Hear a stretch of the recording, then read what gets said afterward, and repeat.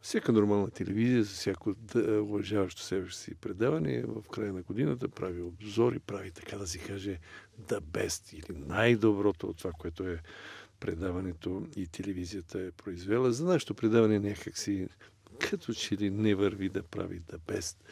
Затова ние решихме да правим the worst. Сиреч да изберем най-лошото.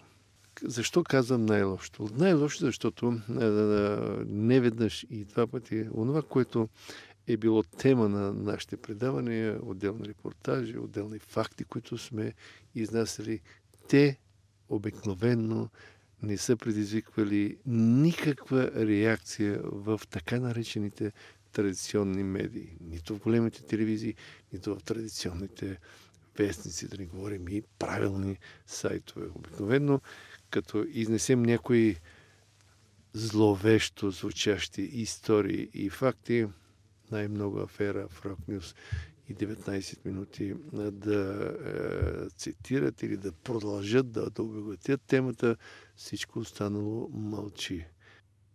Когато ние говорихме за зловещи факти с а, мирис на корупция за десетки или стотици милиони, тогава всички се в същото време големите телевизии се прехласваха по съдбата на кравата Пенка.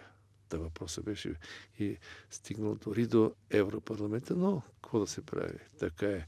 Ние ние, казвам, ние като журналисти, като а, така работещи в тази древна професия, умираме да се захващаме с някакви древни неща, иначе когато е голямото, което е важното и особено а, факти, които касаят силните и най-вече най-силния, тогава мълчим и траем или както беше казал на времето един колега от хъшовските времена пием, пеем буйни песни и проклинаме тирана, а като изтрезнеем, мълчим и не меем.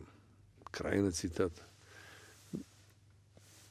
Дори без изтрезняване, по принцип си мълчим и си траем, защото такава е ситуацията и такава ни оправият. Надигнеш ли глас а, срещу най-силните първо ти прекратяват договора, както беше историята в нова телевизия, след което, ако и това не помага, просто прекратяват цялата телевизия, какъв, каквато беше историята с BIT от началото на тази година. Но не и се.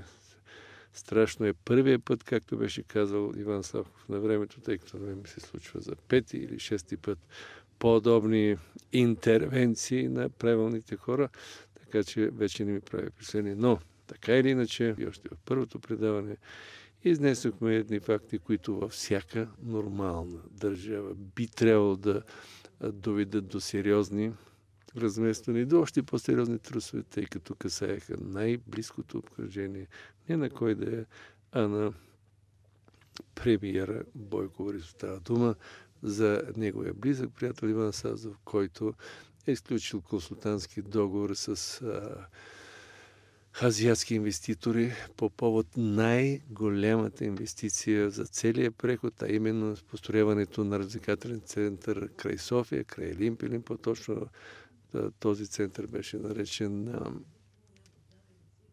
Лас Вегас на Балканите. Стоиността на проекта беше 1 милиард и 600 милиона долара. И след като а, при Оришерски бяха подписани съответните документи, изведнъж като дойде Бойко Борисов на власт, нещата нещо запецнаха и се стигна до този консултантски договор на стойност някакви си 34 милиона евро. Вижте сега части от а, този от този репортаж, от тази тема, която направихме в първото ни предаване, след което ще видите как след 6-месечно мълчание на Александър Томов, който доведе китайския или хонконгския инвеститор Стивен Ло в България, как проговори и изплю камъчето.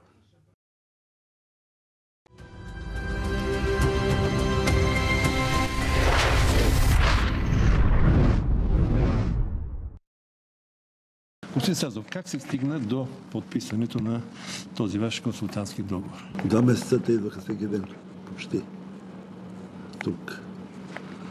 да говорим за този проект. И бях загубили много време. Исках да им помогна. Аз все пак имам доста познания по тези неща и мога да им помогна. Както им помогнах, разбира се. И така се стигна. След два месеца приказки, приказки, приказки, увещавания. Стигна до този договор. Как се стигна до тази цена за 34 милиона и 250 хиляди? Аз не знам, знаете ли проекта каква сума? Милиард и 600 милиона. А, когато вземеш да управляваш нещо такова, каква сума би трябвало да поиска човек? Те нямаха нищо. Де факто, имаха едни документи подготвени, които не стигаха за никъде. По, договора трябваше да ви изплатят тази сума на 12 транша. Каква е съдбата на договора? Съдбата на договора го прекратиха след първия транш. След като свършиха ми работата до някъде, защото до 18-та година след това трябваше да участваме и в строителството. Те го прекратиха без никакво обяснение. Единственото, което категорично мога да кажа, че го прекратиха, защото аз им бех казал, че преди всичко ще защитавам интереса на държавата. Интереса на държавата за мен и тогава и сега стои така. Ако има пари, парите трябва да влизат в българска банка и отпускани от ЦВО за изграждането на този проект. Да ви разбирам, че те, те са ви платили само първия транш, е, една а, малка сума. А, добре, и а, доколкото знам, а, съвсем нормално и законно и логично, вие сега ги съдите. Защото по договор е, ако те, ако те прекратят, доколкото си спомня, ако те прекратят едностранно договора, се дължи цялата сума. Те като прекратят, той договор е правен от тех, не от мен. Mm-hmm. Значи, вие знаете, имаше два договора. И ще ви кажа, то мина едно от делата сега във Върховния съд. Техното обяснение е, че не са знали китайски. Български, извинявам, английски. Извинявам се английски, но Договор е текен, направен на английски, консултиран и така нататък. И при прекратяване без основание те дължат сумата, която трябва да бъде платена.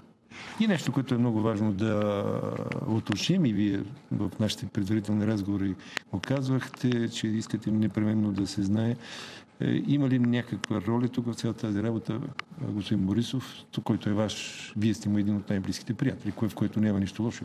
Да, господин Борисов в договора няма абсолютно нищо общо, нито с запознаването ми с китайците.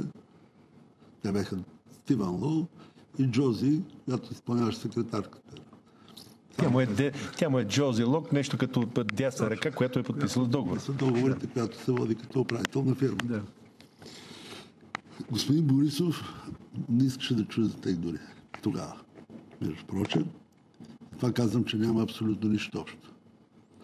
И аз мисля, че казах ви на вас, че за мен това е начин той да бъде уязен, провокиран и да има удар срещу него.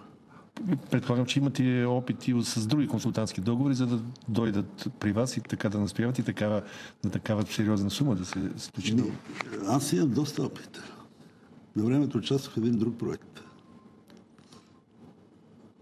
мотокара, завода за мотокари. Mm-hmm. латвийска фирма, която имаше за 980 хиляди РСП да правят. За съжаление не се получи поради 980 хиляди квадратни метра РЗП.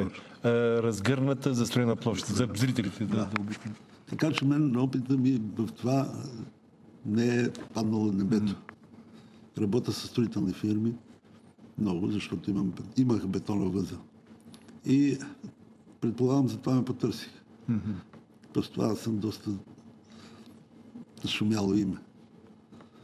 Обаче, интересно ми е защо се набърква премиер. Да, вярно, този, този обект се води приоритетен и той би трябвало да го знае и го е знаел до толкова, доколкото аз съм го запознал и след това те направиха срещи вече с него. Но в никакъв случай не може да се каже, че той има нещо общо с това, че аз го подписах договор. Значи, веднъж може би се засека тук, той дори не обърна внимание, че са те. Mm-hmm. Въобще даже не знаеш кои са. Затова казвам, че за мен това е една огромна спекулация и провокация. Кое имате предвид, че е спекулация и провокация? Че той ми е казал, бе, виж ги тук като приятели, или ме е запознал с тех, или по някакъв начин. Няма нищо общо. Категорично мога да се закълна, мога да мина и тест на детектора за лъжата. Значи този проект трябваше да потекнете, да се потекнете цели и начинания да се реализира, набирайки средства от даването на гражданство на България. Срещу този по милион два? Те, те, да. Участва приоритетен обект срещу милион евро, зависимо какъв гражданин има право да придобие българско гражданство. И аз мисля, че точно там те искаха да ни изиграят всички. Набирайки тия средства, сега колко човека са набрали, не знам. Въпросът е, че не си платиха за мен, иначе не са набрали нищо. Както сами разбирате, договора има. Интервюто с а, подписали този договор е на лице. Скандала би трябвало да е повече от огромен, само че за, за, на практика за традиционните медии, както аз ги наричам, това не представлява абсолютно никакъв интерес. Мълчанието продължи сумата време и вижте сега, след 6 месеца мълчание, Александър Томов какво каза в интервю за нашето предаване. Къде се видяхте с Бойко Борисов и Стивен Лов? В а, сградата, на, която се намира до НДК, която е сграда на ГЕРБ. Офиса на ГЕРБ. Офиса на ГЕРБ, да, в неговия кабинет. Среща мина между другото много добре в смисъл, че той каза, да, това е прекрасен проект, запознаха го с проекта. Той вече е на власт, 20 дни след като печели... Да, втората среща бяха две срещи, едната само моя и втората среща беше, да, беше, беше на власт, да. Така? Точно така. И той се запозна с проекта, каза, подкрепите, подкрепите и ЦСК. И до тук всичко беше чудесно. Така. Е. Оптимизъм, инвестиции, средства, всичко това е 20 на ден след като е, може би месец като стана премьер. След като в един красив ден Стивало беше извикан от него, аз не бях на тази среща. Специално беше казано да бъде сам с изпълнителната си директорка. Върна се Стивало. Направихме една среща. Той беше много като попарен. Върна се от срещата? От срещата, да. Ние готвихме тази среща, смятайки, че това ще бъде среща в Министерски съвет. Не е била в Министерски съвет. Срещата е станала на тенис клуба в Банкия. И след тази среща Стивен ми каза, че за да имаме добри отношения с правителството, аз трябва да отстъпа малко в страни. Аз бях до този момент по договор главен изпълнителен директор на целия проект.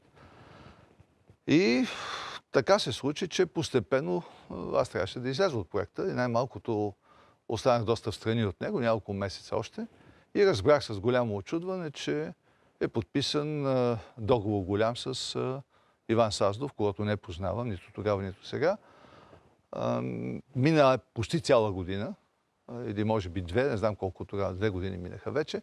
И след това вие, чрез вашето разкритие, лично, за което ви поздравих вече веднъж, мисля, че и днес мога да ви поздравя, вашата упоритост, последователност, се появи този договор, който вече ме шашна. Разбрах какво се е случило, едва когато видях договора тук при вас, между другото, за първи път през април тази април, година. когато показахме договора. Да, защото договор, договора за мен не беше известен в детайли, но този договор е скандален, защото там за лобизъм, и то лобизъм, който от всякъде мирише на корупция, се иска 34 милиона евро.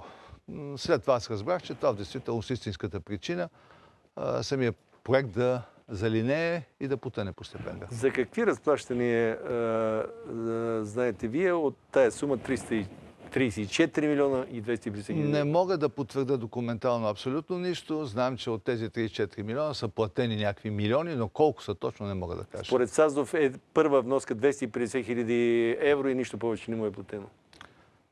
Това нещо само документално може да бъде потвърдено. Искам да кажа съвсем а, така сериозно, че аз документи не разполагам. Чувал съм различни слухове Но сега да ви съобщавам слухове. Тук поне от мен не трябва да излизат. Аз не говоря никога по слухове, говоря само това, което ми е казано и знам. Говори се за няколко милиона, но това се говори от китайска страна, не мога да кажа, не са официални данни. Но като видях договора, това е договор, в който Договор, цялата, който ние показахме. цялата работа е в това да уреди срещи в Министерски съвет, да уреди срещи в общината, да нареди той. За такова нещо 34 милиона не се дават. Освен, Евро. евро, освен ако няма чиста корупция. Как е станало? Кой е знаел? Кой не е знаел? Едва ли ние с ваше да знаем детайли, но едно разследване е абсолютно задължително да се разправи.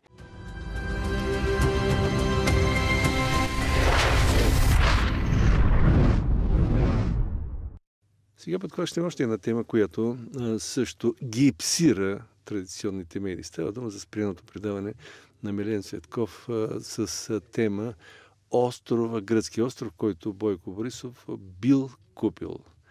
Какво, кой, кой свали Милен Цветков а, от ефира така и не се разбра, не се разбраха и причини, точните причини самия Милен Светков мълчеше, като Римси си не пожела да каже гък. Слава Богу, че аз получих пълна подкрепа от ръководството тук на Евроком. Направихме изваредно предаване, посветено на тази щекотлива тема. Интересно е, че три дни имаше изключение някои така обичайните за подозрени сайтове, иначе пак имаше огромно мълчание от традиционните медии по повод темата, тъй като предаването беше спряно в неделя, в понеделник, прощавайте, късно вечерта се разбра за това спиране. Слави Трифнов реагира веднага с пост в Фейсбук, след това и в предаването.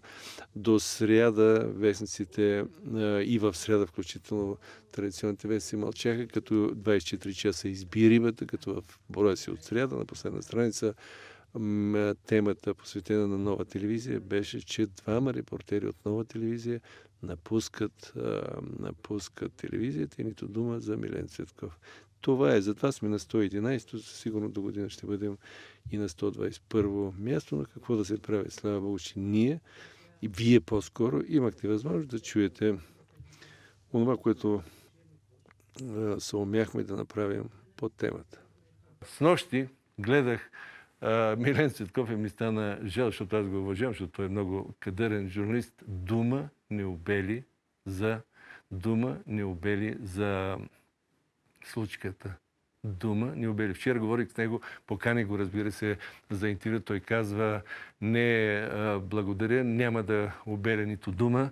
Пътувам за Гърция, по майтапи си очевидно, по майтапи си очевидно Милен Цветков. В цялото това изреждане ще видите още редица тъжни, тъпи и абсурдни факти, свързани с тази фалшива новина. Гръмнали гръцките медии, че съм купил остров Гърция. Просто нещастни, долни лъжци, жълти, мръсници. Сто души да му повярват на това. Ни има в гръцка преса ни остров, ни дявол, ни лъжа. Лъжа след лъжа. Уважаеми зрители, и от тук нататък започват мистификациите, абсурдите и идиощините на сумати медии от понеделник. Това е неделя късно, неделя вечерта, когато се изличва това в БНТ. В понеделник вече новината за закупения гръцки остров а, а, а, така в някои сайтове се промъква. Онова, което е интересно, дайте фейсбука на Бойко, защото фейсбук Фейс Бойко, знаете, че той е модерен. От 28 минути 7 минути са изрязани и вече в понеделник 21 минути са останали в Фейсбука на Бойко и в, от тези изрязани 7 минути не съществува а, темата за острова, за купения остров. Миро, здравей! А, ти си един от хората, които в понеделник, по кое време пусна един материал? А, аз, да ти кажа, в Фейсбук не съм видял Борисов какво е публикува, просто причина, че съм блокиран от, да. от него. Така, така, така е преценил министър-председателя. Появиха се в началото, обаче аз лично прочетох в Off News цитатите на, на Борисов от заседанието в Брюксел. И ми направи ужасяващо впечатление първо езика, който използва премиера и, и темата, която повдига, mm. защото до тогава Признавам си, аз такова нещо не бях нито чул, нито видял някъде за този гръцки остров и, и темата. А, така че тая тема а, щеше да умре там някъде си в един напълно известен български анонимен като собственост а, сайти. Става дума, да, там... Как... Информиран нет или нещо такова нещо се казва а, изданието, което няма посочени собственици, няма с, домен е регистриран с, с функцията mm-hmm. да бъде скрит собственика и така натам. Та, тази новина, фалшива или не, най-вероятно ще, ще да си замре в този неизвестен сайт, така както се е случило с много други така. новини.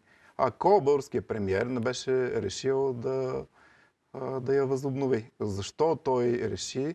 Това е по-интересният за мен въпрос. И да си призная, това беше и причината, която ме подтикна мен да, да. да започна да изобщо да го разчоплям този въпрос.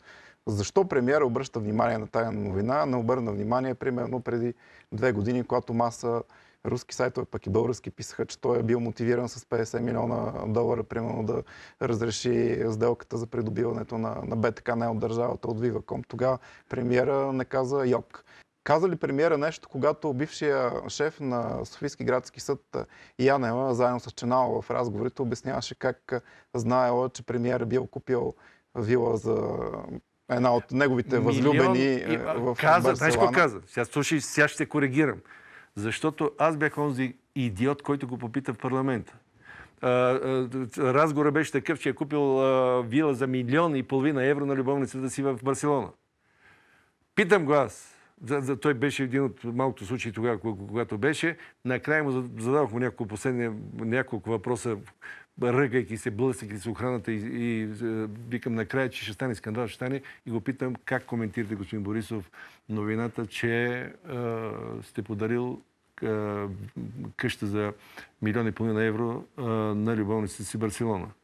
Всичко замръзна. 15 камери, 20 журналисти, гробна тишина. Аз очаквах всичко да стане. Бях готов за... За бой.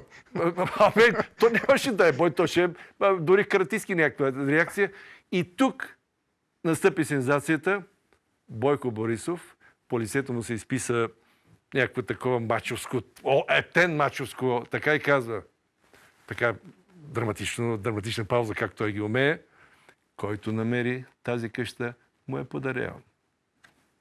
Класа Миро. Към къщата добавяме и остров от днес, защото да, трябва да търсим Само, че реакциите различни виждаш. Подобни и много по-мерски публикации е имало за публични личности, за министри от кабинетите на Борисов в миналото. Чул ли си някога премиера да излезе и да каже лъжци, долни, така да, да, жълти, да. каквито и да е за, за хора, които, с които той е работил? За... Ай, да не ги обяснявам всичките, ама примерно за Христо Иванов, който беше министър, какво се появяха в певските медии. За Радан Кънев, какви колажи имаше по челните страници на това. И за ред, ред други министри, с които е работил Борисов. Някога, ако някой е чул една дума, с която премиера да защити министрите си от жълти публикации в медиите, аз му стисна ръката на този човек, ако ми покаже такова нещо. И сега нека да видим какво всъщност излъчи нова телевизия, опитвайки се да подхлъзне зрителите си, защото според закона за радио и телевизия, когато едно предаване се повтаря, задължително се пише, че предаването е повторение или поне трябва да има до логото или някъде поне една буквичка П.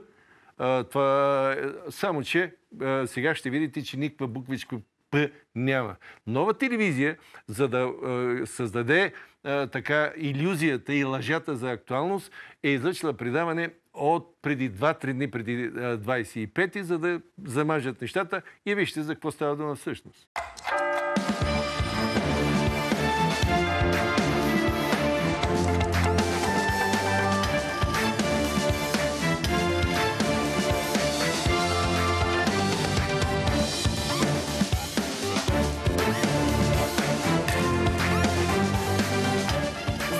Здравейте, гледате часът на Милян Цветков в предаването тази вечер.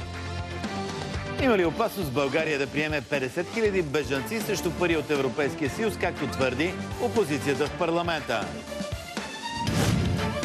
После отец Евгений от Сливен възстана срещу забраната синът му да посещава детска градина, тъй като няма задължителна вакцинация.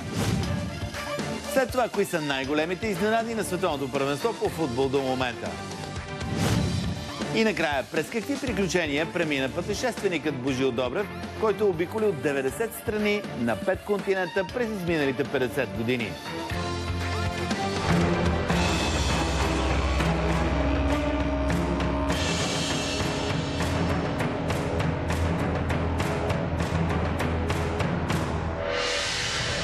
Нова телевизия пусна позиция по повод спряното предаване, което звучи толкова идиотски, и толкова селски, и толкова кретенски, че няма на къде. Цитирам част от а, позицията на Нова. Планираният епизод от 25 юни 2018 година на часът на Милен Светков късно шоу на Нова, не бе излъчен, защото не отговаря на стандартите на телевизията за обективност, истинност и баланс на гледните точки във всички предавания. С нощи Милен Светков дума не обели, имаше нормално предаване. Дума ни обели за случката. На всичкото отгоре беше поканил за вота недоверие двама човека, които говореха едно и също. Тук нещо не майче, само че тъй като и, и двамата а, кълняха а, БСП, колко са неподготвени, двамата в интересни говореха, че а, системата за сигурност е а, страшно а, не в ред. Само, че едно и също, само, че това очевидно отговаря на високите критерии на нова или както и да било. Сега, минаваме, уважаеми зрители, към... Тук трябва да разкрием една нова мистерия. А, а, това всъщност е виновника, може би, за спирането на предаването. Да се опитаме да възобновим да се, да се опитаме да, да възобновим историята от понеделник с с поканите първо. Да, първо аз казвам се Николай Гацев. Бях поканен в предаване в нова телевизия, съвсем коректно, за да разговарям с обявен господин събеседник, господин Каламарис, когото познавам от дълги години и с когото с удоволствие щях да разговарям така. по проблемите на гръцкия остров. Отивам там и заварих друг човек, нали? Господин Каламарис бил заед последния момент, аз между другото също бях поканен в последния момент, но аз не съм бил поканен. Просто. Да, да, така.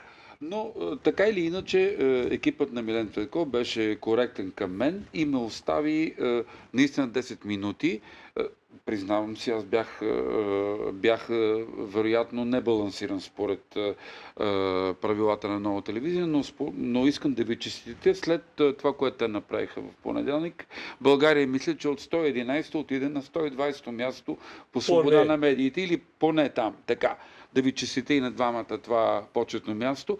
По темата за острова какво? По темата за острова аз заявих, че за мен проблемите с островите и реакцията на Бойко Борисов не е проблем на България. На България днес проблем са неглижирането на майките и на протестите пред Народното събрание на майките, които искат да се самоубият заради е, неглижирането на техните проблеми от Народното събрание, от властта.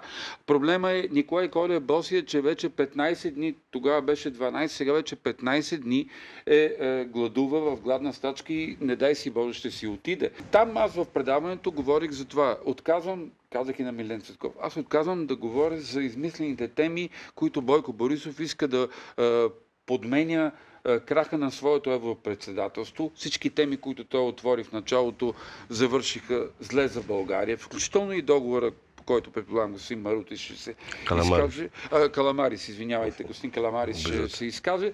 Е, след мене договора между а, Македония и Република Гърция. А, а, крах в... А, ние имаме а, български а, аз мисля и го казах и в предаването, вероятно банкрут на България, който не се обявява за съжаление. Нали, не знам дали е така. Икономист... Каза, е, макар... Има излишъци. Фискал... Ама от два месеца има ли пари господин Диков в България? Кой има пари в България от два месеса? Няма никакви така, пари в България. Добре, така. Гръцкият участник какво, какво говори за острова? Гръцкият участник беше много толерантен към е, управлението на Бойко Борисов и каза, че е, този остров са го били приписали на петима, шестима албански, черногорски и други мафиоти и македонски мафиоти преди това.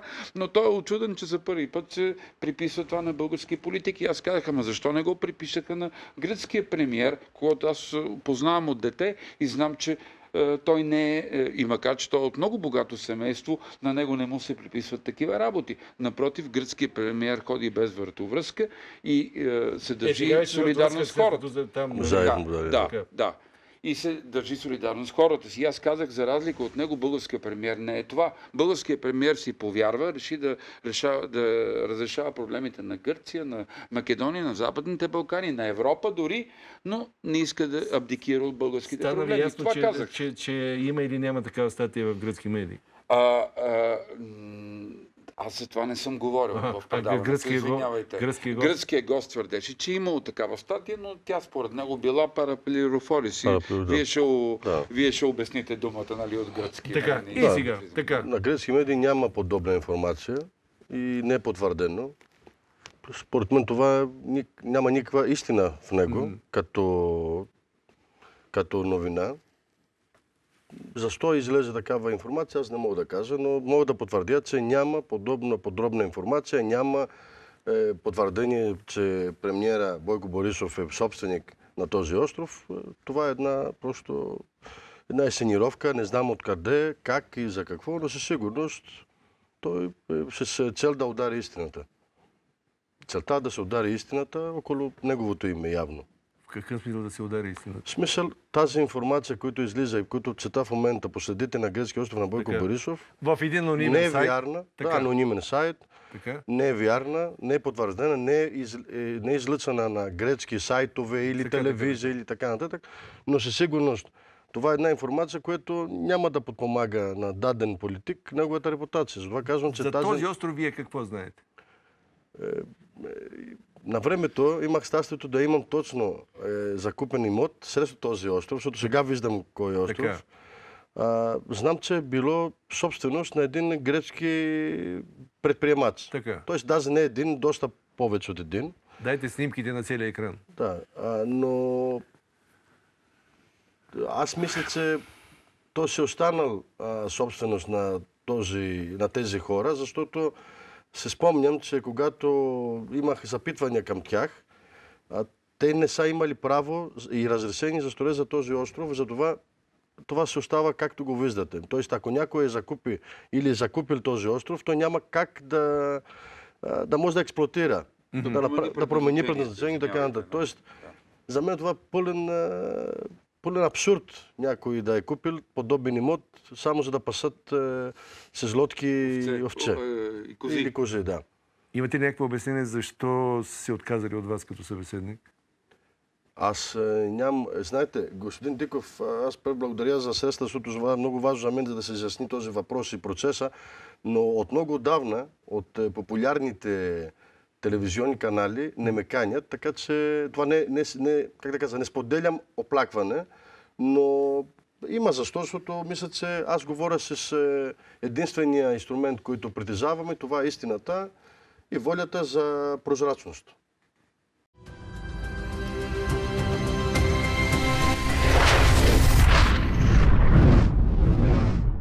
След няколко месеца, след няколко месеца историята като по чудо се повтори с Валя Акчиева и нейното спряно предаване на открито. Само, че този път беше една неделя вечер. След масивна реклама на, реклама, на това предаване, масивна реклама по самата БНТ, в, самия, в самата неделя предаването не се излъчи. И от тук дойдоха странните неща. Първото е странно нещо, че става дума за обществена телевизия, която, чието ръководство на обществена телевизия, която се издържа с а, обществени средства, с парите на всички нас, това ръководство би трябвало да усеща нуждата, задължението да се отчита за своята дейност пред хората. Само, че под формата на отчет разбирам и да даде информация защо и какви бяха причините за спирането на това предаване. Нищо такова не се случи и до този момент поне аз не знам да се е случило близо месец минава от спирането. Нищо такова не се е случило, въпреки изискването и писмо от СЕМ до ръководство на БНТ.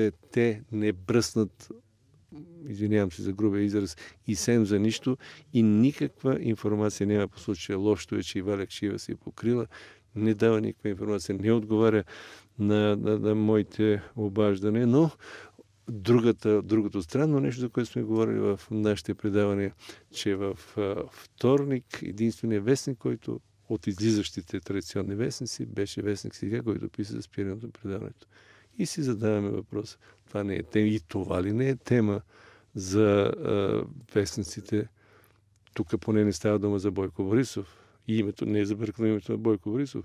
За мен единственото обяснение не, не става дума за Бойко Борисов, става дума за подходящи шефове на националната телевизия, които са назначени сигурно не без височайшо благоволение. И тези наши момчета, ние не трябва да ги закачаме и не трябва да ги критикуваме, макар и да са сгафели. И тук не става въпрос кой и какво е сгафил, кой е виновен, причини за спирането на предаването. При всички случаи с хиляда процента е задължително ръководство на БНТ да даде информация за този сам по себе си изключително скандален факт.